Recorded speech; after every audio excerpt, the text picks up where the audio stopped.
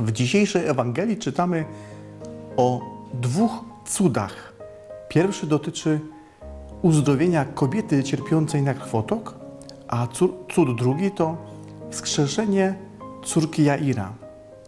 Jeżeli w tym dniu w kościele jest czytana Ewangelia w wersji krótszej, bo i tak może się zdarzyć, to usłyszymy jedynie o tym drugim wydarzeniu, to znaczy wskrzeszeniu córki Jaira.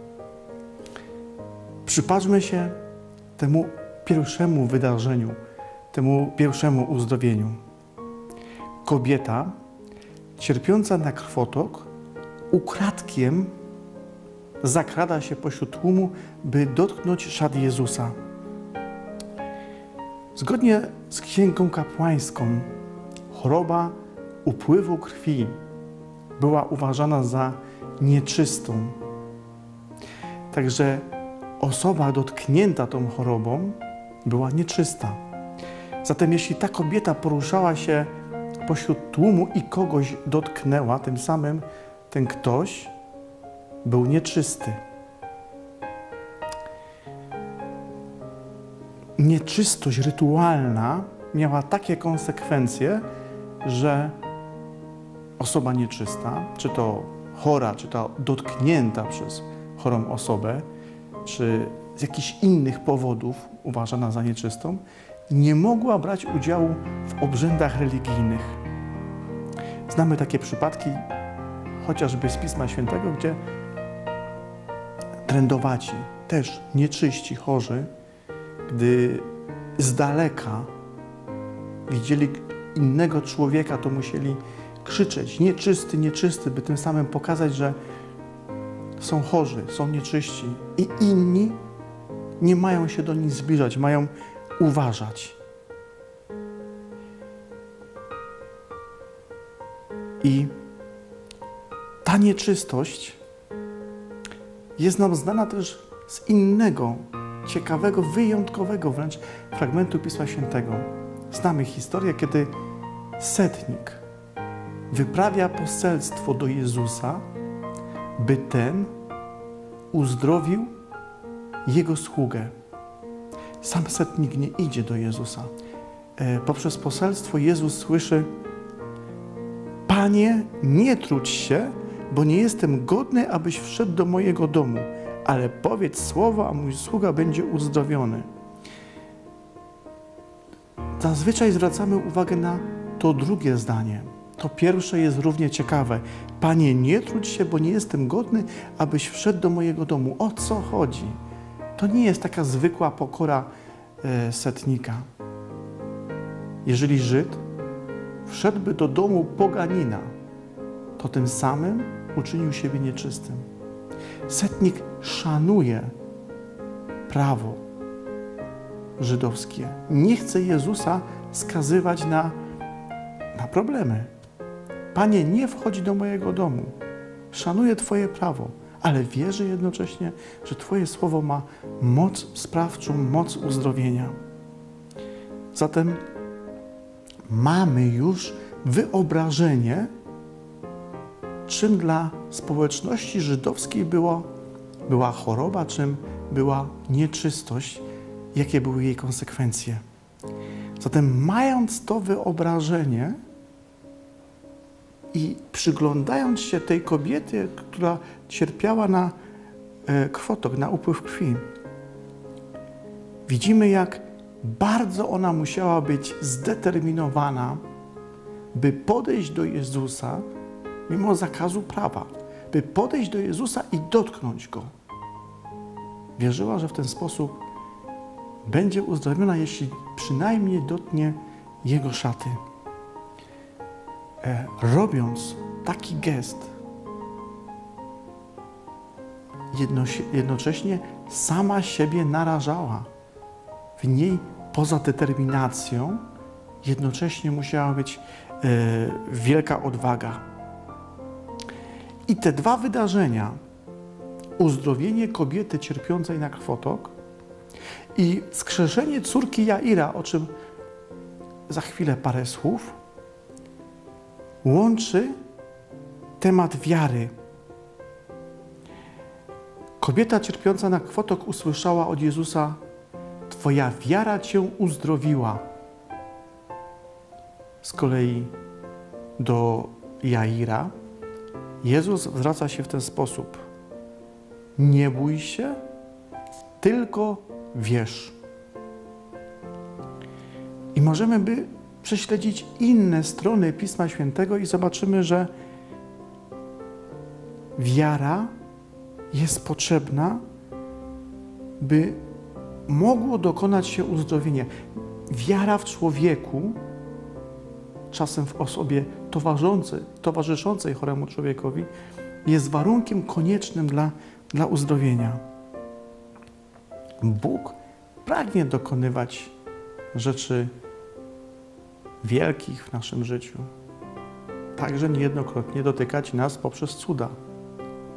Wiara jest potrzebna, by w pierwszej kolejności mieć w sobie samym dobre wyobrażenie o Bogu, o tym, że On kocha człowieka, o tym, że Bóg troszczy się o człowieka, że Bóg pragnie naszego szczęścia. Jeżeli ktoś ma inny w sobie obraz człowieka, znaczy, że on jest przekłamany. Trzeba by stanąć przed Bogiem, czy wesprzeć się drugim człowiekiem i odkłamać ten obraz. Jeżeli wierzę i ta wiara, z wiarą staję przed Bogiem, to mogę się z Nim spotkać. To jest czas modlitwy, to jest czas sakramentów. E, spotkać, a także doświadczyć Jego obecności, Jego bliskości w moim życiu. Jeżeli spotkać, doświadczyć obecności, to także powierzyć Mu siebie samego. Całe swoje życie, wszystkie sprawy. I te dobre, ale także te trudne, te niejednokrotnie, które chcielibyśmy w sobie samym skrywać. Powierzyć i ufać Mu. Ufać we wszystkim. Gdy Jezus z Jairem idzie do jego domu, to do tych, którzy tam lamentowali, zwraca się sposób: Dlaczego robicie zgiełk i płaczecie? Dziecko nie umarło, tylko śpi. W środowisku żydowskim, w środowisku Greków, gdy ktoś umierał, to śmierć nazywano snem. Natomiast w tej wypowiedzi Jezusa dziecko nie umarło, tylko śpi, to sformułowanie ma inne znaczenie. Jezus pokazuje siebie jako Syna Bożego, który ma władzę nad śmiercią, dla którego ludzka śmierć jest jak sen. I ojciec Jair, przychodząc do Jezusa, musiał wykazać się naprawdę wielką wiarą. My czytamy ten fragment wielokrotnie i on nam może wydawać się oczywisty, ale popatrzmy na Jaira, wstajmy w jego miejscu. Czy mielibyśmy taką wiarę, jeżeli umarłby ktoś nam bliski? Dziecko, współmałżonek, rodzic? Czy byłaby w nas taka wiara, taka pewność wiary, by przyjść do Jezusa i prosić Go wskrzesz, przywróć do życia? Właśnie taką wiarę miał Jair. I zobaczmy, Jezus z ojcem zmarłej dziewczynki idzie do jego domu, do domu dostojnika. Tam spotyka właśnie żałobników i próbuje w nich wzbudzić wiarę. Dlaczego robicie zgiełk i płaczecie? Dziecko nie umarło, tylko śpi. Jezus zostaje wyśmiany. E, sposób myślenia o śmierci żałobników nie pozwalał im wejść na drogę wiary, nie pozwala im przekroczyć tylko ludzkiego myślenia.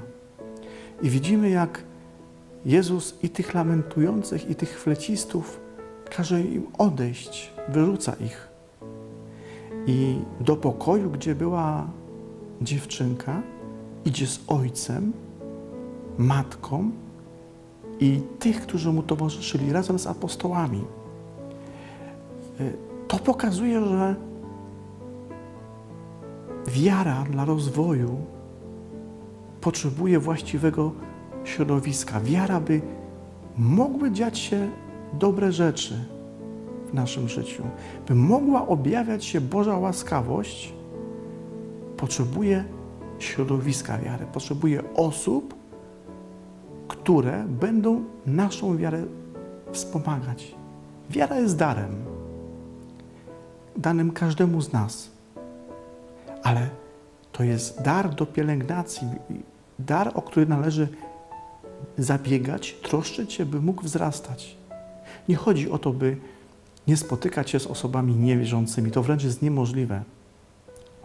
Jest naszym zadaniem, by dawać świadectwo, by być pośród tych, którzy tej wiary nie mają, zaniedbali ją, gdzieś zakopali w samym sobie. Niejednokrotnie nawet pośród tych najbliższych, e, w szkole, na uczelni, w pracy, czy może nawet w rodzinie, możemy spotkać tych, którzy są daleko od wiary. Y, tam mamy zadanie świadczyć o Jezusie. Natomiast wiara nasza potrzebuje wsparcia innych osób.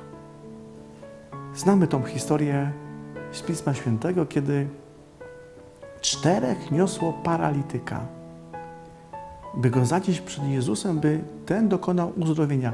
Dom był pełny słuchaczy. Zatem oni odsłonili dach i przez dach spuścili chorego człowieka przed Jezusa i ten go uzdrowił. Ten paralityk miał środowisko wiary. Miał tych pośród siebie, czterech, których wierzyło, że Bóg, Jezus Chrystus go uzdrowi. Jezus, uzdrawiając dziewczynkę, wskrzeszając ją, pokazuje, że ma władzę nad śmiercią, że ten najboleśniejszy skutek grzechu, grzechu pierworodnego, został, jakim jest śmierć, został przez niego pokonany. W tym miejscu Bóg objawia swoją moc. I to zwycięstwo nad śmiercią córki Raira jest zapowiedzią tego zwycięstwa, które dokonało się poprzez śmierć Jezusa, zmartwychwstanie i w którym to zmartwychwstaniu, zwycięstwie nad śmiercią możemy uczestniczyć my wszyscy. Naszym zadaniem jest wejść w bliską relację z Bogiem, ufać Mu, wierzyć, by to Jego zwycięstwo, to Jego zmartwychwstanie, to, co dokonał dla córki Jaira było naszym doświadczeniem, byśmy po tej ziemskiej wędrówce mogli spotkać się jako zwycięzcy przy Chrystusie. I na uwagę zasługuje jeszcze jeden, jeden aspekt, jeszcze jeden wątek. I kobieta cierpiąca na krwotok, która była no, dla niej samej w dramatycznym położeniu, Jair. Trudno sobie wyobrazić większą tragedię życiową, rodzinną niż śmierć kogoś bliskiego, śmierć własnego dziecka. Bóg wchodzi w ich życie. Bóg znajduje rozwiązanie dla ich problemu. Bóg jest niezmienny, taki sam jest dla nas. On ma rozwiązanie dla naszego życia, czy to problemów materialnych, duchowych. We wszystkim możemy wziąć, odnaleźć prostą drogę, jeżeli zaufamy Bogu i te zdanie, które dzisiaj słyszy Jair, nie bój się, tylko wierz, jest to zdanie, które Bóg wypowiada tej niedzielnej Ewangelii do każdego z nas.